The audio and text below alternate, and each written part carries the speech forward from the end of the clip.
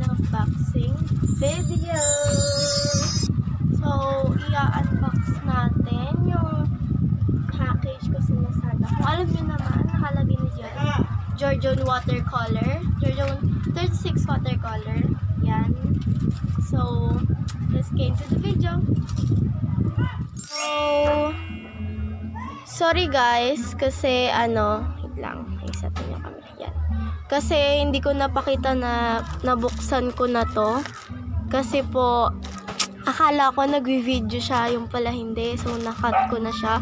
Pero okay lang yun guys. So, yan, tanggalin na natin. So, yan guys. Kunuha ko lang yung kutsilyo natin para buksan natin siya. Okay, na I open this? Wait lang. Taas natin yung...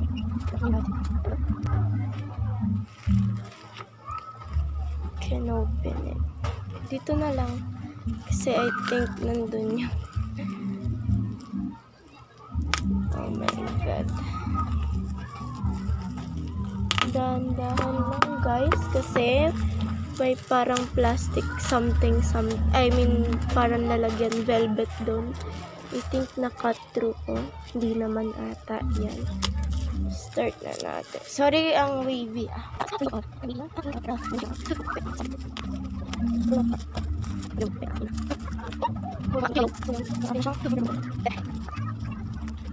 An, yan siya. Yan ang kanyang name, Georgione. Pero yung sa, sinearch ko sa Google ang pangalan, Georgione. So, yeah. Pero tawag ko ito Georgione. Sana ako. Tapos yan. Meron siyang velvet na bag. Ang ganda niya kasi may velvet bag na siya.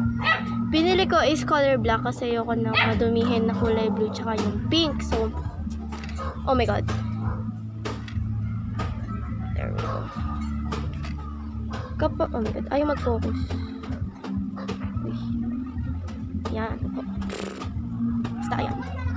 Ayaw mag-focus. Yun, nag-focus na rin si ate girl niyo. Oh my god, hindi na naman. Ayan. So, ito na siya. Let's open this. So, first, we let's review the, ano, the bag. It's cute. Yeah. It's so velvety. Maganda siya. Pero manipis lang siya.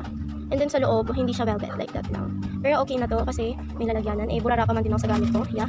So, yan. So, wait. So, back to the...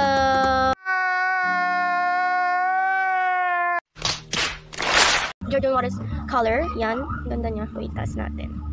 Oh my God. So, this is the 36 color. Kung makikita nyo, parang may paper dun sa loob. So, yung pinaka ano niya, maganda. Wala siyang sira. Uh, Tapos, ito yung Chinese pakimigay ng buhay nila. Yan. Focus. Yan. So, yan. Yan na.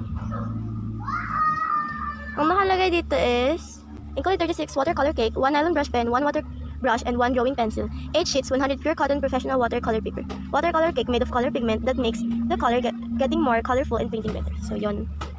Alam ko naman, marunong, oh my god, marunong na kayo magbasa, so kaya nilang basahin. Oh my god. Ayun, ang dumi niya kapag binuksan. Kasi siguro sa pigment yun, kumalat sa gilid. Ba't mabilis lang naman siyang ano, ano, punasan. Mawala naman siya. Yeah. so first, we have, have this. We have two sponge. This one. Two fluffy sponge. Let's put this in here. And we have uh, paper. This one. It's a Georgian watercolor paper. It's 8 piece. Sorry sa ko. Oh, madumi. so, let's try to open and let's see kung ilan nga ba talaga. Makikita nyo guys, madumi siya. Oh. Yeah, madumi siya. Pero okay lang yun. At least dun lang sa labas. Sa pigment siguro yun nito. I think. Sa pigment ata niya yan. Yan. We need to take it out. Yan. So, we have this. Ang ganda niya. Let's count it. 1, 2, 3, 4, 5, 6, 7, 8. So. So, it's 8 watercolor paper.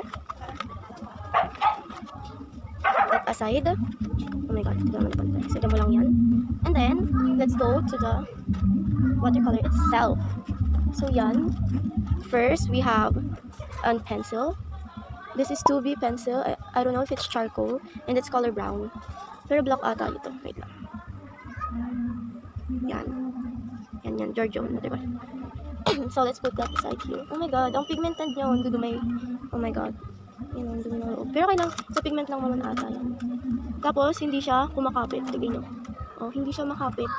Maganda siya. Hindi siya kumakapit. And then, we have here the water brush.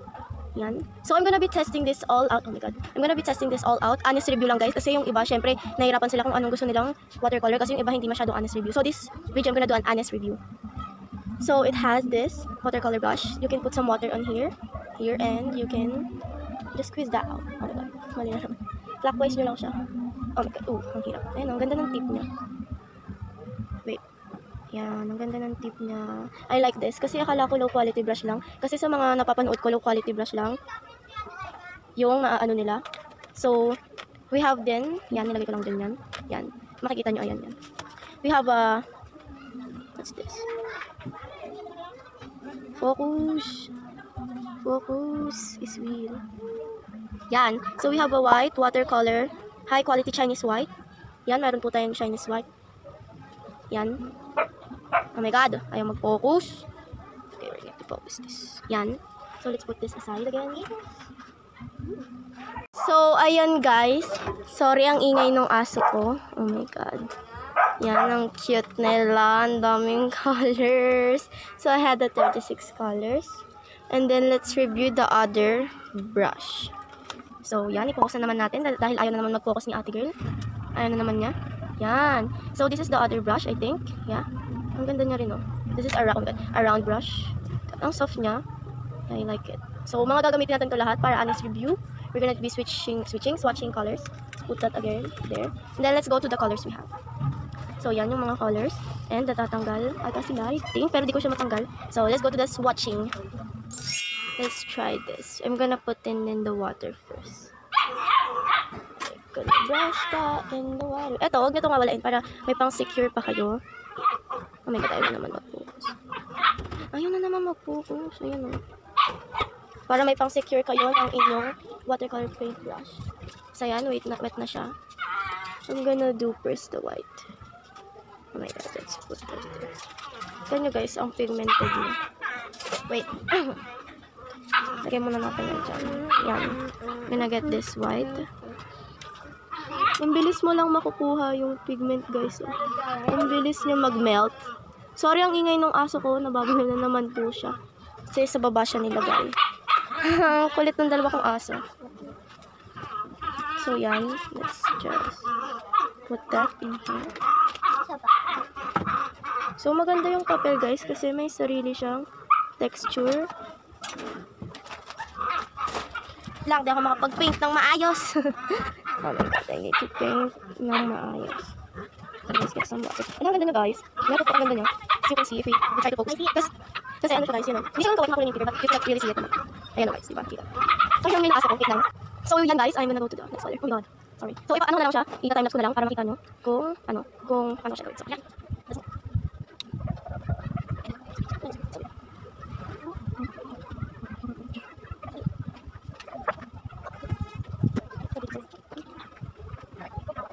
这是什么颜色的？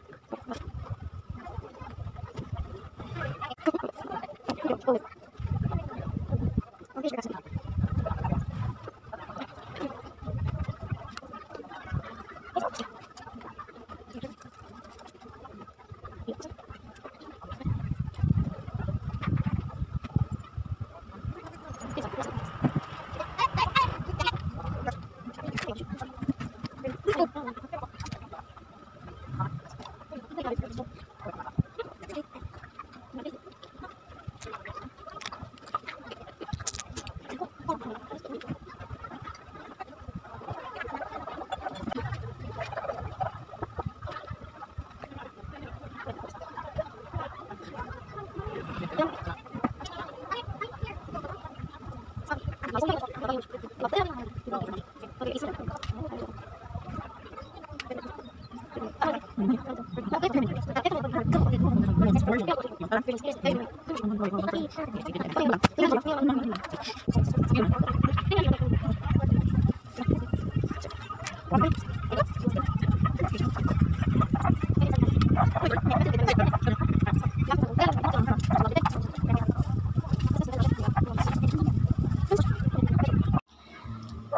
guys, ayan na nga. Nilagyan ko na siya ng mga name. Babayaan nyo na di ko alam talaga yung mga color nila. So, ginawan-gawan ko na lang siya ng name. Kunyari, green tree, green forest. mga kapalbalan sa buhay. Tapos, ito yung transparency niya. Hindi masyadong kita. Tsaka ito, nag, ano, kasi nga, hindi ako gumamit ng marker. I use gel pen. Kaya siguro hindi masyadong transparency. Tsaka, ano siya guys, oh, yan. Nag, smudge. Tapos, ito naman yung sponge na ano. Kinalat ko na lang. Tapos, ito, nag-smudge ako dyan. Nalagyan ko ng water. Tapos, nalagyan ko ng ibang color. So, yan. Para sa akin, maganda siya. Sorry, eto may paint. Pero di yan kasama dun sa ano talaga. Sa paint. Tsaka pag in-smudge mo siya ng ganun, hindi siya may smudge kasi hindi siya kumukulay. Like this, red.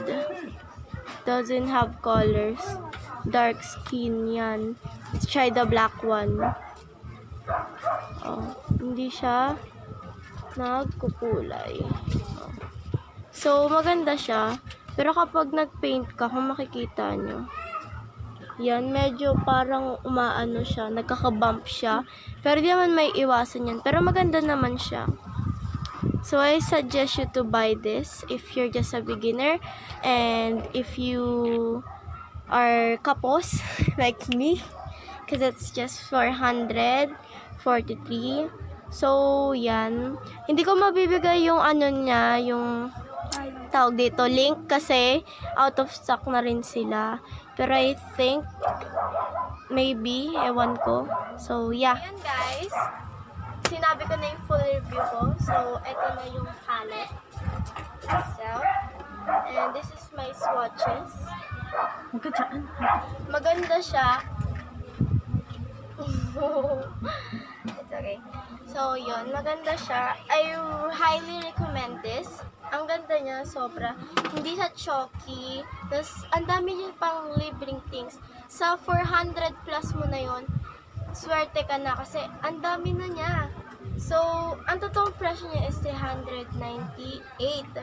So, ang shipping is 42 pesos. Kaya 443. So, thanks for watching. Hope you like, share, subscribe, and hit the notification. Peace!